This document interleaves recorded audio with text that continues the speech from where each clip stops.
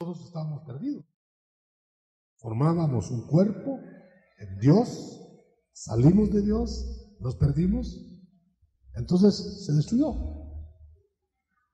Ahora, según el pasaje que leímos, así como Él levantó su cuerpo en tres días, levantará su, templo espiritual en tres periodos. Porque va a trabajar primero en el espíritu, después para, resucitarlo porque está muerto, en pecado. Después va a trabajar en el alma, que sería el lugar santo, para restaurar el alma. Y después va a trabajar en el atrio, o sea, en el cuerpo. Va, el Hijo vino a trabajar en el Espíritu, le dio vida. Con su muerte le dio vida al Espíritu humano de los que creen. El Espíritu Santo vino para dar restauración al alma. Y el Padre vendrá a levantar el cuerpo al final. Amén. Ahora, cuando levante el cuerpo, es decir, lo restaure totalmente de la muerte o, la, o transformándolo, también va a transformar al mundo. Curioso que no va a transformar al mundo cuando arregla el espíritu ni cuando arregle el alma de los suyos, sino que va a dejar que ese trabajo del espíritu humano y del alma humana se haga aquí en el, en el mundo sin cambios del mundo. Usted ve que se convierte la gente, el Señor gana corazones, pero el mundo sigue igual, o peor, hasta que llegue el día en que lo cambien el mundo, todo el globo. Pero mientras llega eso, veamos qué proceso va a ser en cada parte. Dice en el verso 19 que leímos del capítulo 3 de Hechos, arrepentidos y convertidos hoy. Eso es tiempos de indulto, tiempos de perdón, tiempo o tiempos en que el Señor va a utilizarlos no para, para cambiar al mundo, ni para cambiar a los hombres, sino para dar vida al espíritu de los suyos. Amén. Por eso el Evangelio en este tiempo no es impuesto, es expuesto para que el que se convierta, el que se arrepienta, tenga un cambio, vida nueva porque estaba muerto espiritualmente. Claro, caminaba por la calle, tenía su, su movimiento físico, pero no, no tenía espíritu de comunión con Dios. El espíritu estaba muerto. Y la única manera de comunicarse con Dios es por el espíritu. Entonces, como estaba muerto en nosotros, no teníamos comunicación con Dios, sino comunicación con la gente nada más y con el mundo. Vivíamos del alma, o sea, de instintos. Poquito, poquito mejor que los animalitos. O peor. ¿Por qué? Porque vivíamos de apetitos. Entonces lo primero que va a hacer el Señor es venir a, que tú te arrepientas, que tú te conviertas, y entonces el Espíritu toma vida. Y esa vida en el Espíritu te va a cambiar en la medida que le permitas al Espíritu Santo que se va a quedar para trabajar en el alma, el rendimiento del alma. O sea que son dos procesos diferentes. El Señor cuando vino hace dos mil años, personalmente, llamó sus discípulos los cambió, los cuidó y dijo, yo me voy. Y por ese tiempo que estuvo con ellos, los cuidó y no, no se perdió nadie de los de él, de los de él. Solo el que se quiso perder o que se quiso condenar, porque no quiso salvarse, que se llamaba Don Judas. Los demás quedaron en las manos del Señor. Ese es el tiempo que se inició la exposición del reino. Entonces se está trabajando ahora en el Espíritu. Arrepentíos y convertíos para que tengáis nueva vida. Nueva vida. ¿Me oyó bien? No la misma vida. Ahora, ¿se ha fijado usted, hermano, que eso no es automático, ese cambio? ¿Se ha fijado usted que a veces se estaba mejor cuando se empezó? ¿No se recuerda usted cuando se convirtió? Como que tenía más entusiasmo, como que se, como que obedecía más, como que le llamaba más la atención el Evangelio. No sé si, si usted lo ha experimentado, pero seguramente, seguramente no ha rendido su alma, no ha estado rindiendo su alma, más bien la ha estado recogiendo para usted. Entonces, claro, no se desarrolla. Es como un niño que nace y no lo alimentan bien. El niño no se puede ni parar, no puede ni caminar. Igual, igual. Eso no quiere decir que no haya nacido, ¿verdad? Pero no puede desarrollarse. Ahora, entonces, el trabajo inicial es darle vida al espíritu. ¿Para qué? Para poder comunicarse otra vez con el Padre. Un aplauso al Señor.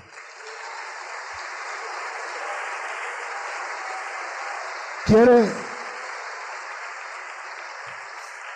¿Quiere usted saber si ya se convirtió?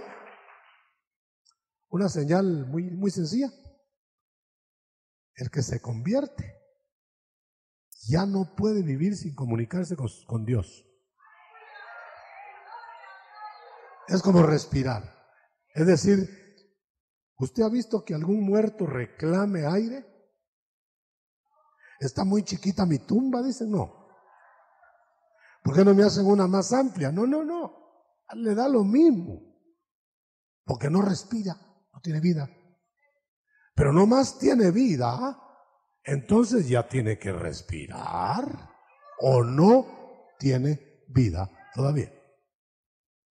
Entonces las personas, la señal que le decía sencilla es, ¿ahora usted anhela comunicarse con el Padre? Después que dice que se convirtió. Sí. Bueno, pues entonces ya tiene vida espiritual. Antes usted ya sabe dónde estaba a estas horas. Antes, y espero que ahora no, sus ocupaciones eran otras. Cuando yo vengo para acá los domingos, el domingo especialmente, ahí van unos en short, otros en calzoneta, otros con sombreros de este tamaño, a lavar su carro, cualquier cosa hace. Porque, ¿qué otra cosa, hermano? Y después van a, distraerse por aquí, por allá, porque no tienen ocupación en comunicarse con Dios.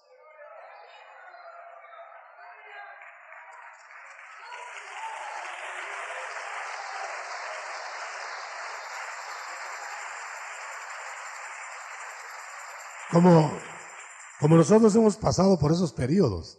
Yo me recuerdo cuando mi vida era esa, la del mundo. Entonces el domingo decía yo, pero ¿por qué no irá la gente esa que va para, mis papás inclusive decía yo, ahí van para la iglesia.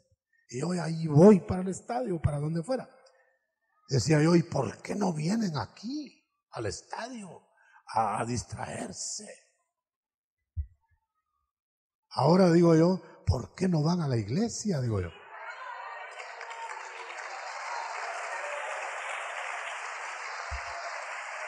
Ahora comprendo por qué decía David, yo me alegré con los que decían, a la casa de Jehová iremos. Ahora que venía, y que no siempre voy a estar en el segundo turno de, de servicio, sino también en el primero, pero ahora que venía, ya iban muchos para afuera y otros para adentro. Y otros estarán esperando para la noche. Qué bueno, ¿verdad? ¿En qué otra parte querría estar? Aquí. Muy bien. Ahora, eso quiere decir que ahora ya, ya respira. Fíjese que Lázaro, cuando salió de la tumba, había que quitarle las vendas. En la tumba, ¿no? ¿Para qué? Eso era para que el muerto no se desintegrara, que quedara ya amarrado, todo desintegrado, pero amarrado, ¿verdad? Pero ya vivo, ¿para qué las vendas? ¿Para qué las amarras? Entonces hay que desamarrarlos. Hay gente que está ya con vida, pero se ha acostumbrado a las vendas. Y hay gente que está que no puede respirar bien. Usted sabe que hay gente viva que no puede respirar bien. Usted sabe que hay gente viva que no puede ver bien, oír bien. Eso no quiere decir que está muerto. Entonces, si nosotros no tenemos desarrollo de los sentidos, puede que tengamos vida, pero no la disfrutamos porque no tenemos integrados los sentidos. Muy bien. Entonces,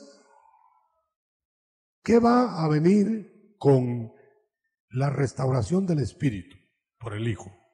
Va a venir refrigerio al alma. Esa es la segunda parte. Entonces se va a llevar el Señor un tiempo, ya lleva dos mil años de estar trabajando con nosotros o con la humanidad. Y ahora se va a llevar a saber cuánto tiempo, hasta, hasta el final, para trabajar en el alma. Ya tiene vida su espíritu, si se convirtió. Pero ahora le van a trabajar el alma. ¿Quién? El Espíritu Santo. Por eso la primera parte la tomó Cristo. Espíritu. Por eso la primera parte del Éxodo la tomó Moisés. La segunda parte la tomó Josué. La primera parte la tomó Cristo. La segunda parte la toma el Espíritu Santo. ¿Qué va a hacer? Nos va a dar la vida abundante de Canaán. En la medida que rindamos el alma. Entonces, si usted está viendo el pasaje, Usted ve que dice que vendrán tiempos de refrigerio. En el 19. Ahora, esos tiempos de refrigerio no son en el, en el mundo. El mundo tiene tiempos de aflicción, de tribulación, de angustia, lo que sea. Pero el cristiano debe tener tiempos de refrigerio en el alma no motivado por lo que pase, porque lo que está pasando no es como para tener entusiasmo. Entonces tiene que ser motivado por la presencia del Señor. Mire, mire cómo dice, vendrán tiempos, vamos a ver, leamos el pasaje, vengan tiempos de la presencia del Señor, esos refrigerios. ¿Por qué está contento hoy? porque le aumentaron el sueldo. Eso no es tiempo de refrigerio para el, del Señor. Está bueno, alégrese por eso. Como se entristecería si se lo rebajaran, ¿verdad? Pero, ¿por qué está alegre? ¿Motivo externo o motivo interno? ¿Porque le da refrigerio el Señor? Bueno, si le da refrigerio el Señor, aunque esté enfermo, aunque esté apretado, aunque esté bajo prueba, aunque esté bajo lucha, usted está contento.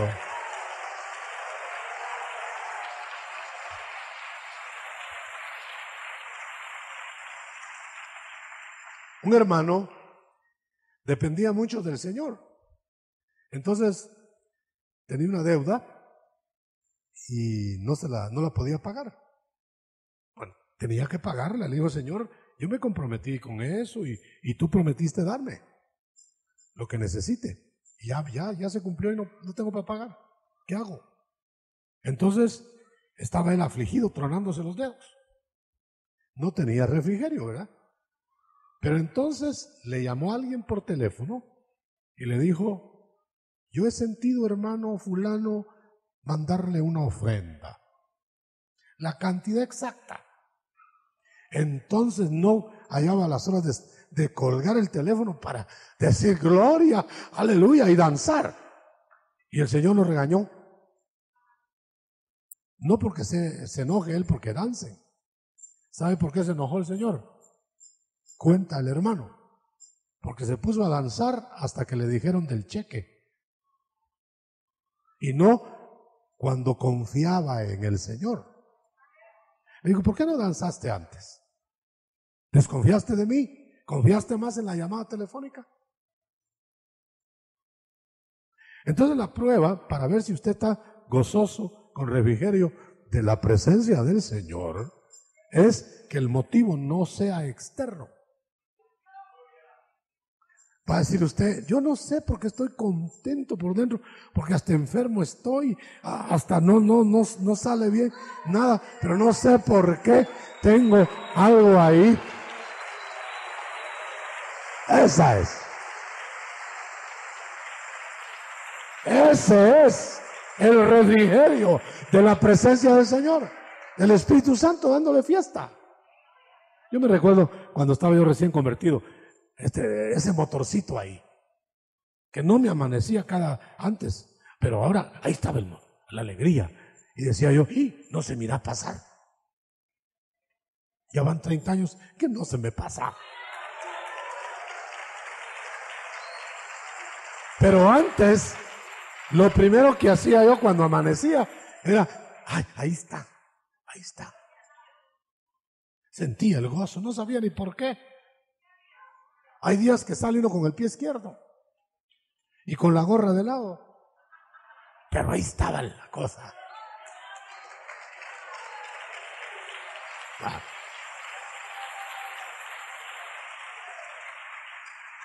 Ese es el segundo día.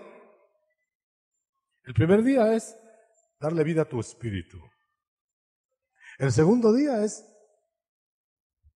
darle refrigerio a tu alma cansada, destruida, acostumbrada a vivir solo para el rato. Esa es la segunda parte.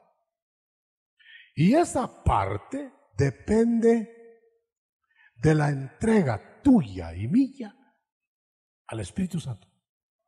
¿Sabe por qué? Porque el Espíritu Santo está dentro no para salvarte. El que te salvó fue Cristo. Está para auxiliarte, para hacerte fiesta, pero hay algo, para celarte. Y cuando no le estás dando todo al Señor, entonces el Espíritu te cela. ¿Eh? ¿Qué estás haciendo? ¿Para dónde estás mirando?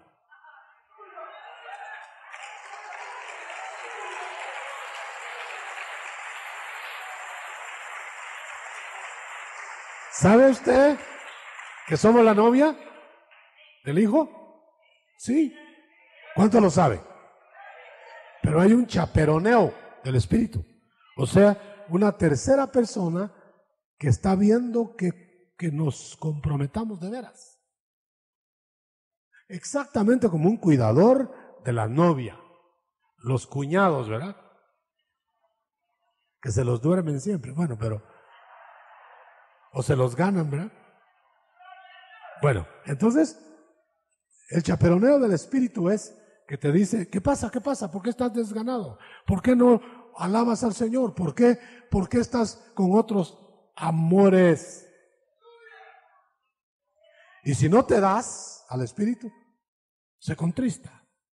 Y entonces no preguntes, hermano, déjate ya de esas preguntitas. ¿Y por qué será que estoy apagado? Peor te vas a poner si no entiendes porque no te das. Prueba y date al Espíritu y vas a ver cómo te hace fiesta.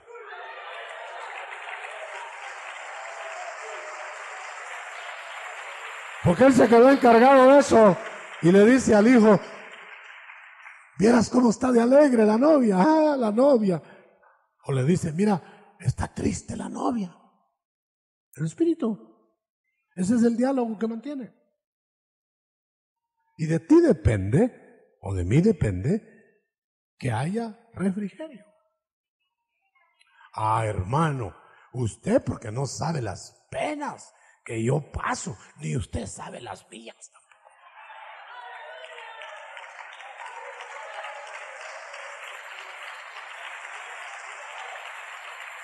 Pero el que está aquí sabe las suyas y las mías. Y se las dice al que está arriba. Aleluya. Gloria a Dios. Un aplauso fuerte. Muy bien.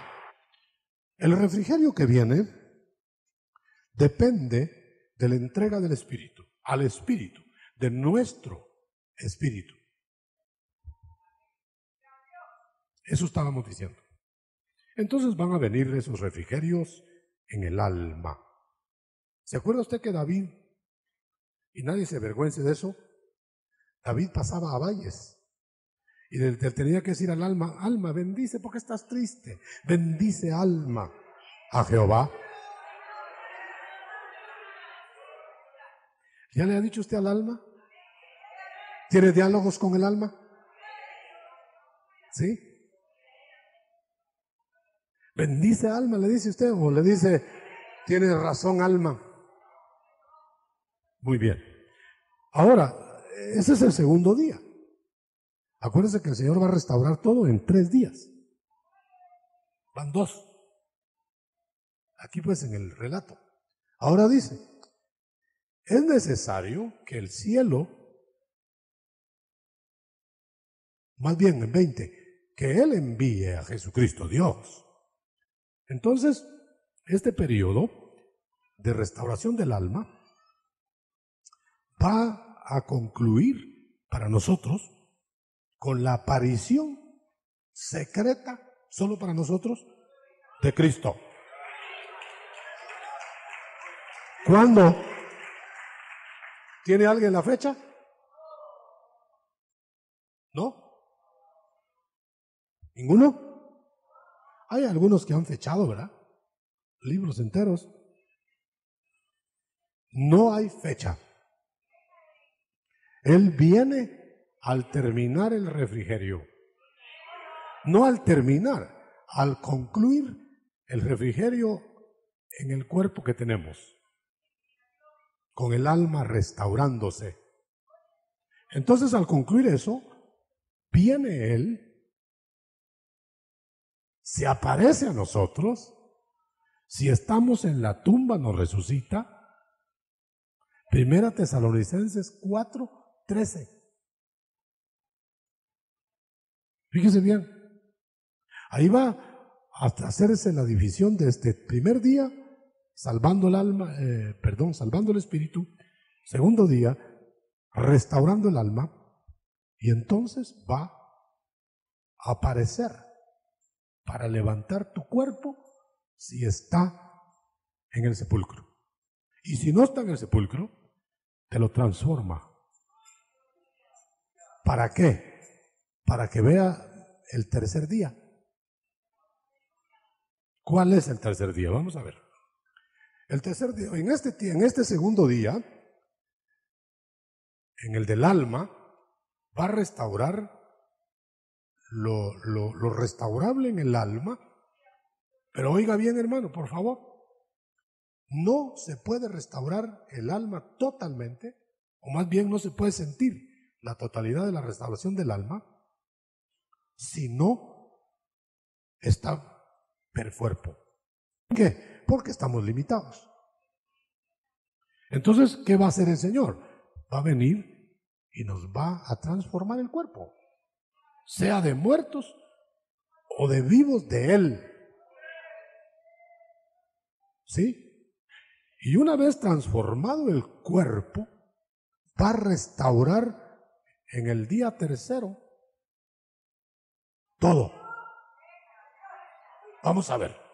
Quizá la parte que más me interesa es esa. Vamos a ver aquí. siga conmigo en el 21. Entonces va a enviar a Jesucristo, parucía, para los suyos. Primera Tesalonicenses 4:3. Porque el cielo lo, lo necesita allá, lo tiene allá, hasta que venga el tercer día, o sea, los tiempos de restaurar todo. ¿Qué será todo? Si nos restaura a nosotros, se cambió la, el espíritu, el alma y el cuerpo. ¿Qué falta?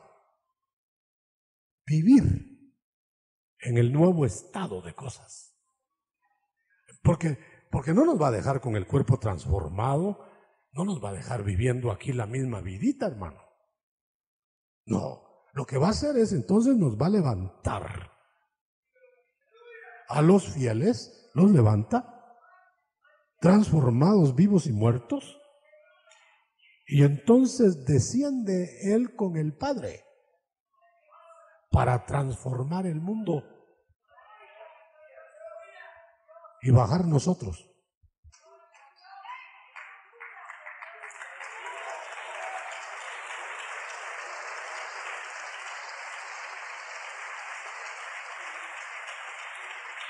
Ahora, si, si es así, entonces estamos viviendo ahora el tiempo en que debemos que tenemos que dar el alma al Señor. Para que en un momento dado, súbito, nos transforme. Y entonces se queda Él trabajando en la restauración de todas las cosas. Para restaurar hasta los animales, hermano. ¿No se ha fijado usted que los animales siempre están ligados a la redención del hombre? Allá van los hombres para el arca. Había que salvar.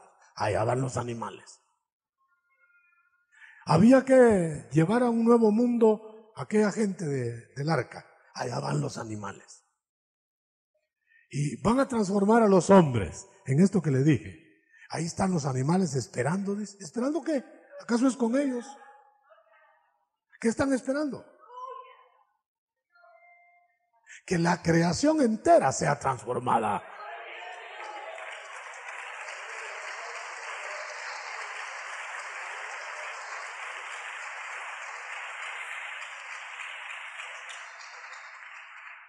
¿Estará ya transformado el mundo? ¿Y usted cree que el mundo lo va a transformar el hombre? No. Entonces no tiene remedio. El mundo, ¿quién lo va a transformar?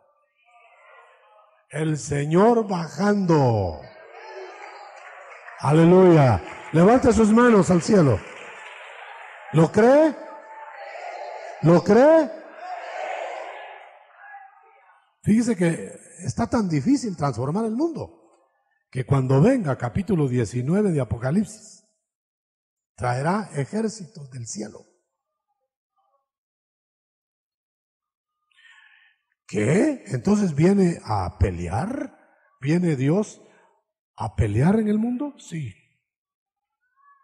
Viene a guerrear para que el hijo y la novia, ya esposa, tengan hogar en la tierra. Entonces va a barrer, va a barrer. Y dice que entonces Él, ese será el tiempo de la restauración de todas las cosas. Falta un poquito, ¿verdad? Entonces note usted, por eso cuando dice que viene Elías, viene Elías, no dice en las mejores traducciones ahora que Elías viene a restaurar todas las cosas. Dice en los tiempos de restaurar todo, viene Elías. Pero no las va a transformar él las va a transformar Cristo. Claro, va a estar Elías cooperando, vamos a estar nosotros con él, pero la transformación la va a, la va a ejecutar Cristo. Muy bien, vamos a ver. Leamos el verso 21. O sea que va a instaurarse el mundo eterno. Los tiempos de la restauración de todas las cosas harán que Cristo baje de los cielos, como dijeron los profetas. Entonces, hermano, cuando Cristo baje, usted sabe que va a bajar para reinar, glorioso, visto por todos. Ahí ya no es solo para los suyos, visto por todos. Entonces, cuando traiga ese cuerpo glorioso, físico, hágame favor de leer conmigo Juan 2 que leímos. Lo lee conmigo, por favor. Destruid, verso 2, 19. Destruid este cuerpo, este templo, y en tres días lo levantaré. Y hablaba de su cuerpo.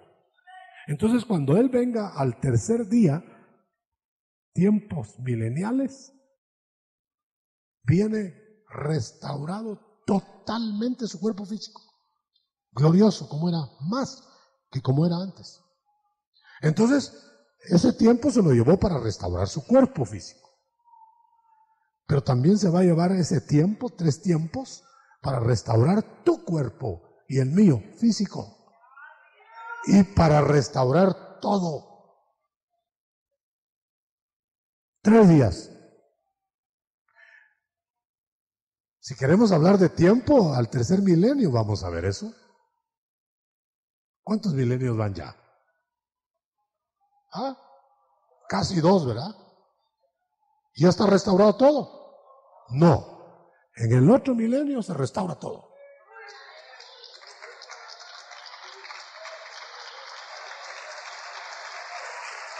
Ah, ya sé que me va a preguntar, hermano, entonces el Señor se va a tardar otros mil años en regresar a la tierra. Sí, en regresar a reinar, pero a traernos no.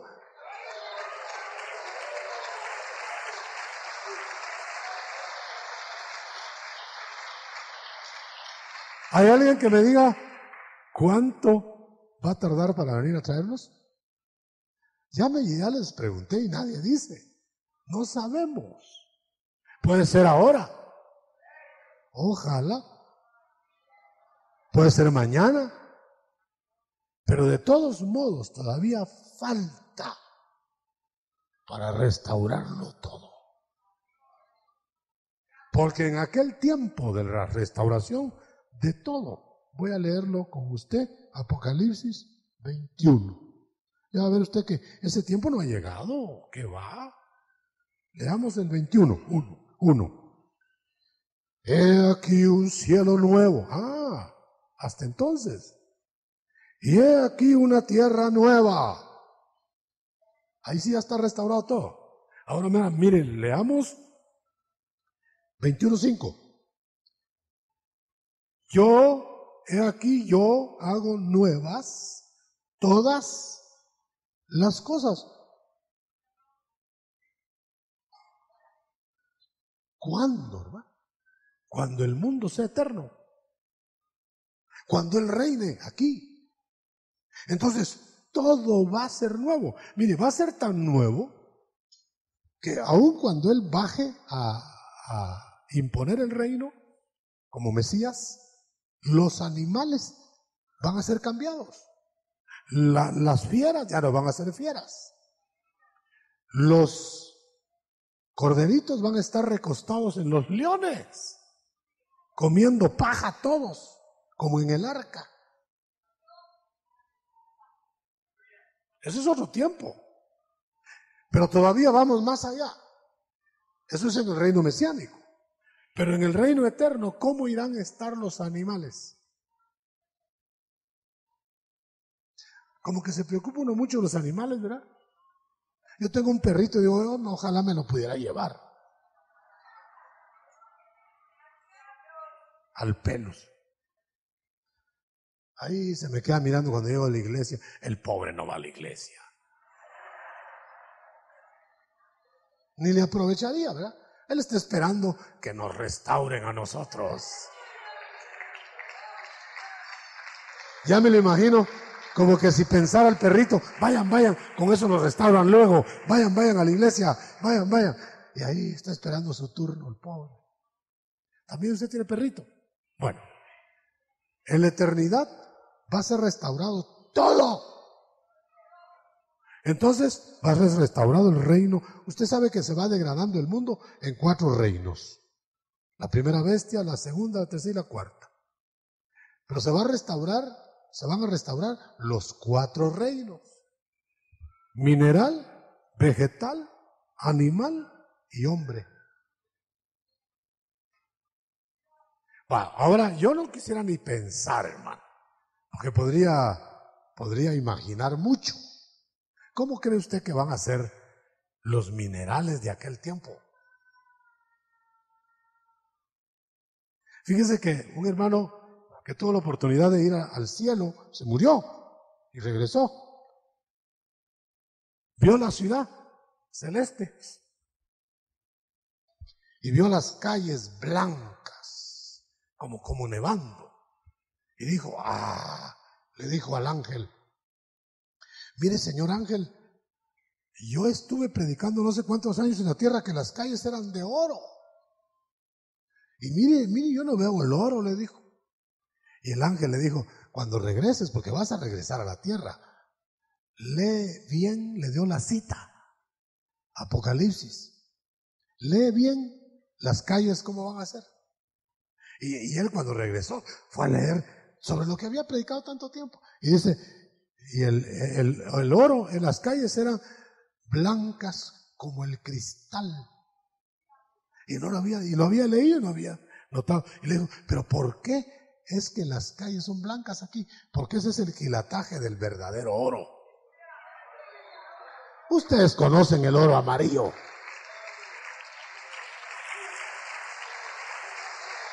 ¿Ah? Bueno, esos son los minerales. Los vegetales, árboles de vida,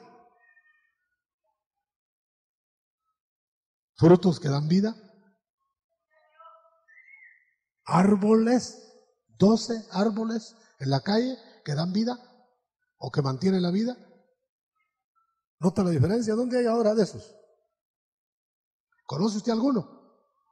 Vegetales, ¿sí? Ahora, los animales. ¿Cómo estarán, irán a estar los animales? ¿No será que va a poder sondearse la mente de los animales allá? y platicar con ellos de mente a mente? ¿Cómo hizo Noé? Eso que no estaban restaurados, solo le dieron permiso, de reunirlos y meterlos al arca. Pero cuando estemos en la nueva ecología, los animales nos van a entender, hermano. Y nosotros los vamos a entender. Ese es mi perrito que yo tengo. Estoy sentado a la mesa y como tal vez estoy platicando ahí con mi gente y me vuelve a hacer así, como dice, bueno, ¿y yo qué?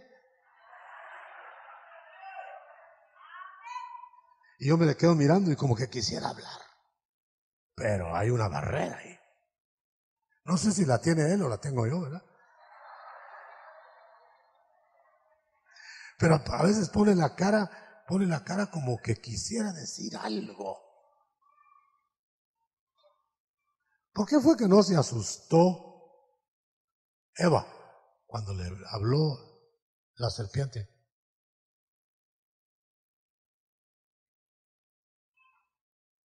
¿No sería que de continuo hablaban? A ver si no me amarro con este cable también. ¿Por qué no se asustó Balaam cuando le habló la, la burra? ¿Usted no se asustaría si le hablara su caballo?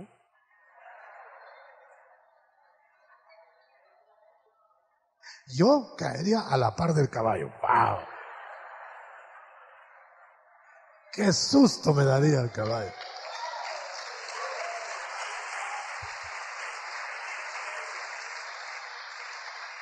¿No irá a haber cambio en los animales y va a restaurarse todo?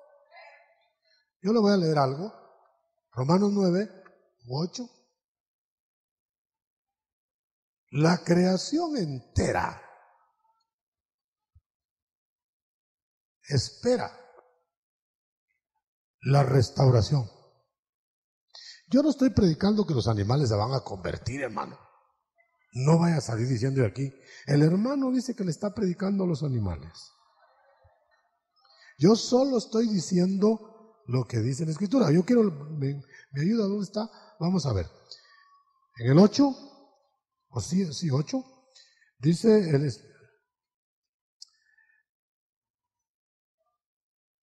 Vamos a ver dónde está. 20. Porque la, la creación, 8.20, fue sujeta a vanidad. Pero no, no por culpa de ellos, sino por el que la sujetó. 21. Porque también la creación, las criaturas, no los hombres, por supuesto que los hombres también, la creación misma será libertada. ¿Oyó? Libertada de la esclavitud de corrupción, a la libertad gloriosa de los hijos de Dios. No dice que se van a convertir, ¿verdad? Pero dice que se van a, que van a ser libertados. ¿Quiere decir que están, están prisioneros? Seguro. Y por culpa no de ellos, dice, del hombre. Ahora, sigo leyendo. Porque sabemos que toda la creación gime en otra versión dice, todas las criaturas gimen a una. Y a una están con dolores de parto hasta hoy. Y no solo ella, la creación, sino que también nosotros mismos, que tenemos las primicias del Espíritu, nosotros también gemimos. ¿Qué estamos esperando, hermano? La adopción, la resurrección de nuestro cuerpo. ¿Y qué estarán esperando ellos? Yo no estoy diciendo que ellos están esperando lo mismo que nosotros. Solo estoy diciendo que por culpa de nosotros los redujeron a ellos y que están esperando que seamos libertados nosotros para que ellos sean libres. ¿Cómo irán a ser los animales libres, hermanos, si los animales rebajados son a veces más inteligentes que los hombres?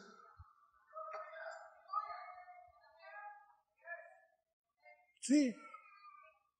No se, no se ofenda. Porque en esperanza fuimos salvos. O sea que, entonces, hermanos, viene una restauración de todo. Yo tengo que cerrar mi Biblia, que ya se fue el tiempo.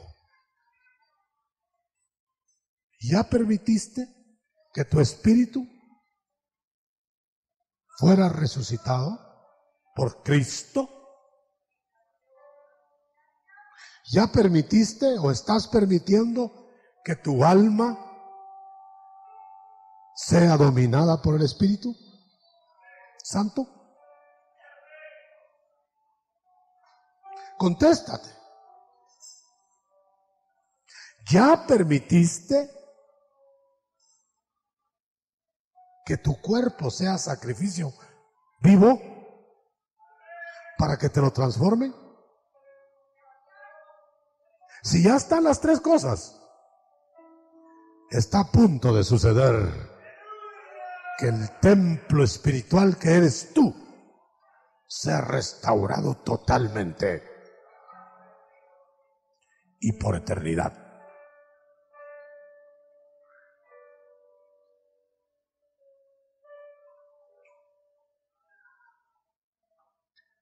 Cristo cumplió con su cuerpo al tercer día entero salió de la tumba.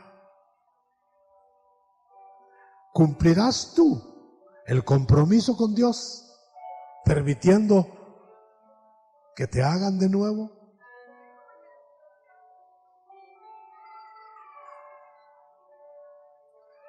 Te voy a dar la mala noticia final, si es que no quieres. Solo los que nazcan otra vez eternizarán. Solo los que sean transformados. Solo los que se dejen a ser nueva creación.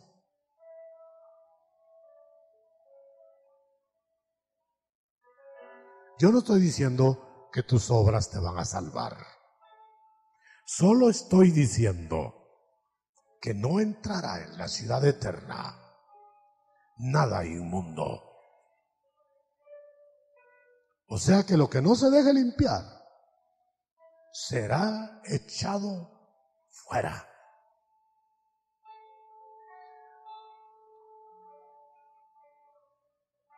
Toda planta que no plantó mi padre será arrancada. Porque en el nuevo mundo todo será nuevo. Lo viejo habrá pasado. Por eso del cordero no se dejaba nada para otro día. No se dejaba nada crudo. Todo quemado al fuego. Por eso no podemos dejar de consagrar nuestro triple ser. Porque lo que Dios no purifica, lo destruye. Lo voy a decir en una sola palabra. Fíjese bien lo que voy a decir. El Señor quiere que todos se purifiquen. Pero el que no se deje, lo tendrá que eliminar, porque entraría cosa inmunda a la eternidad. Entonces lo tendría que eliminar. O te apartas del pecado en Cristo, o el pecado te apartará de Cristo eternamente.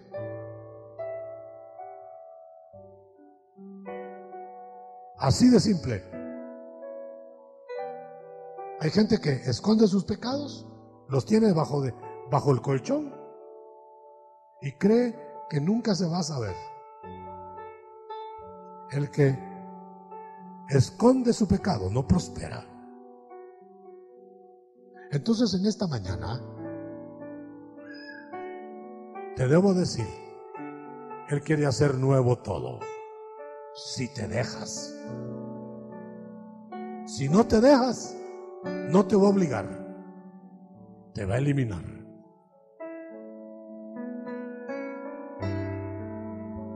Levanta tu mano. Una administración a fondo en tu alma. ¿Está muy lento el proceso?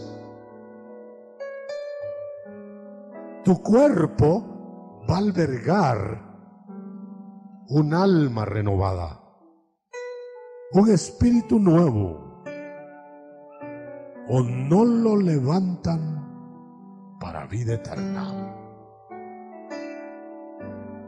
Y el proceso lo arreglas ahora. ¿Quieres vivir tu vida? La vas a perder. ¿Quieres perderla en Cristo? La vas a ganar. No hay otra. No hay otra.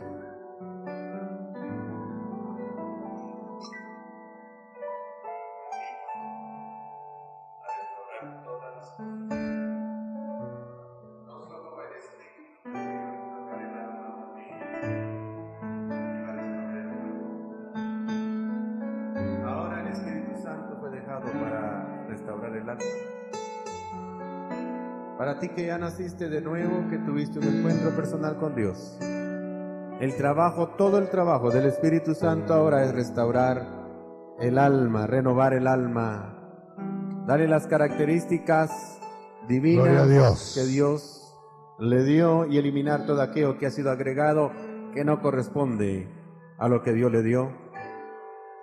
Pero llena, aunque está el Dios de la gloria a través de ese Espíritu, luchando por restaurar el alma, aunque Él es todopoderoso, necesita algo para hacerlo y es que nosotros nos entreguemos a Él.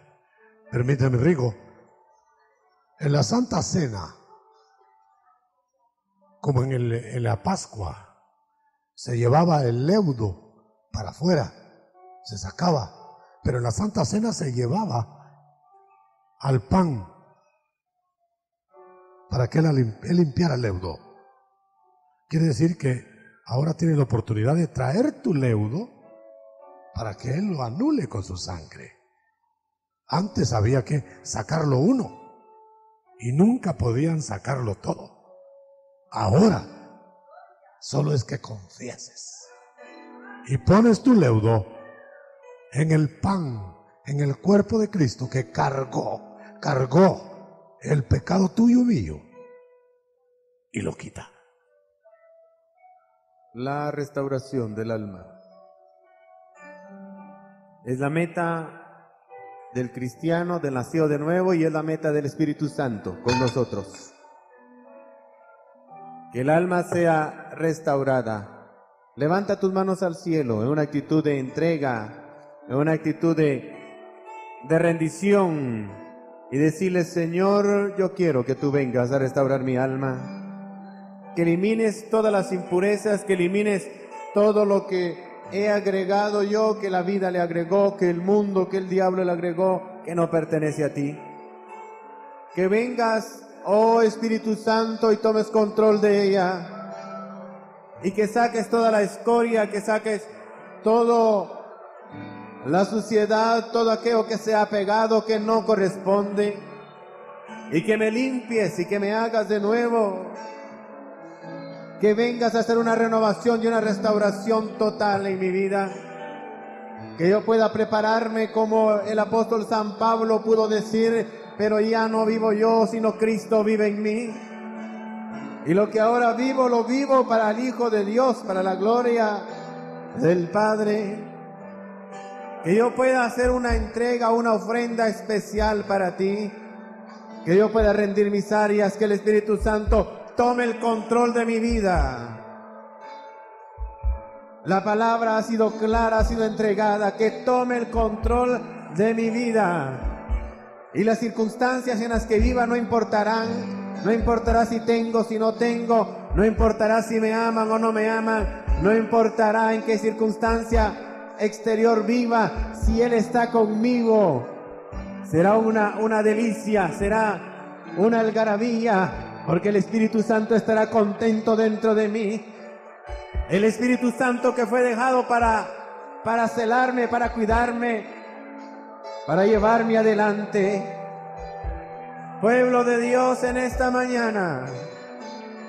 El llamado es a que nosotros rindamos nuestras, nuestra alma, las áreas del alma, y que el Espíritu Santo tome el control de ellas, para que la fiesta del cielo se traslade a nuestra vida y se manifieste en cada momento, en cada... Yo no sé en qué circunstancias adversas estás, no sé qué conflicto tienes, pero no es cierto que el conflicto y las circunstancias adversas te detienen. Lo que realmente te detiene es que no has herido tu alma al Espíritu Santo. Porque si Él toma el control, no importará lo de afuera. El apóstol San Pablo dijo, yo he aprendido a vivir contento cualquiera sea mi situación. Sé tener y sé padecer necesidad. Sé vivir en altura o en valle. Porque no es el valle ni la